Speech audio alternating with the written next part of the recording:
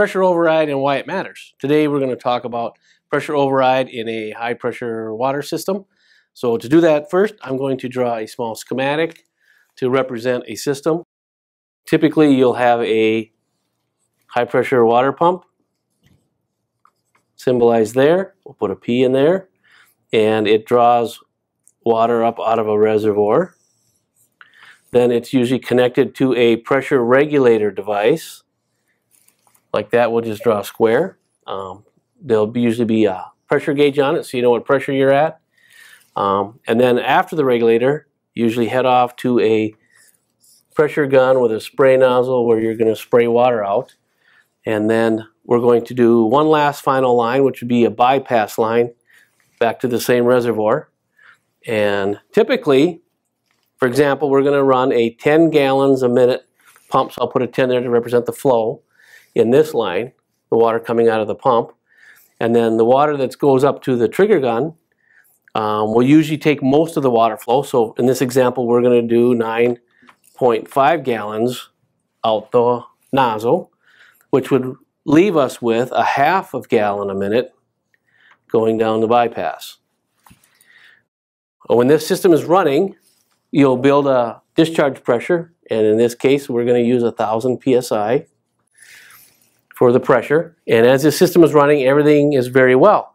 What can happen, though, is inside the regulator, what's going on is you'll have a, a seat in here, a poppet with a spring that's adjusted, adjustable.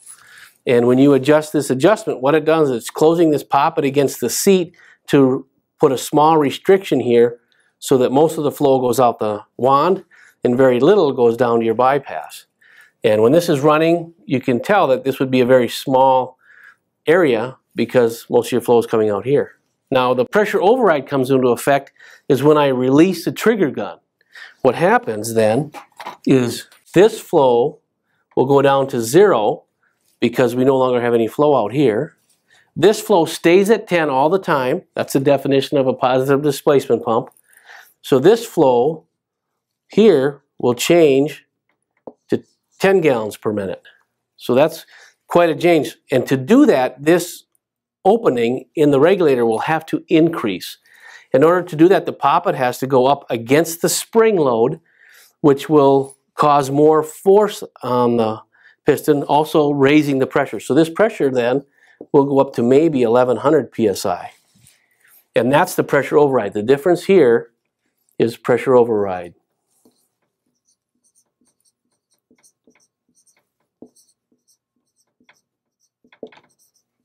That's the definition. That's what pressure override is. Now, the reason it's important is if the regulator isn't sized properly, like um, if we use a uh, 1,000 psi regulator to regulate at 1,000, that's the proper sizing and it's got the right spring stack in it. If I were to take a 3,000 psi rated valve, it's going to have stronger springs in it. And to get the poppet to move that same distance, it's going to take more force. Then your pressure override may go to 1200 just because you've got stronger springs inside of it. So it's important to keep the right um, rating on the valve to the system that you're going to run.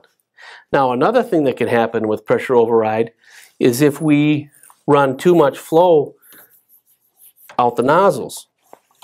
If I go back and keep this at 10, but I run this at 10 and run this at 0, I have now adjusted this so tight that I have no opening to bypass. And once I have no opening to bypass, I'm allowed to continue to adjust my regulator tighter and tighter against the spring, which doesn't do anything while the gun is open. But as soon as the gun does close, this has to go to zero, this has to go to 10. And now, if I've adjusted this quite a bit because this was closed off, I could actually see this going not to 1200 but maybe to 1500 or higher.